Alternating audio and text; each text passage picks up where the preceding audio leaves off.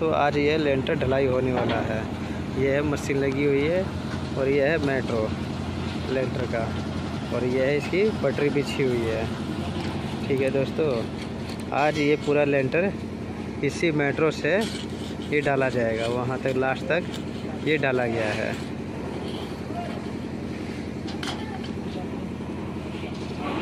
ये दोस्तों आ गया ये माल ये भर दिया भाई ने मशीन से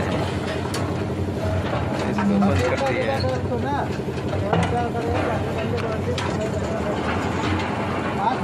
अब इसको ये भाई, ये है चल पड़ी हमारी मेट्रो।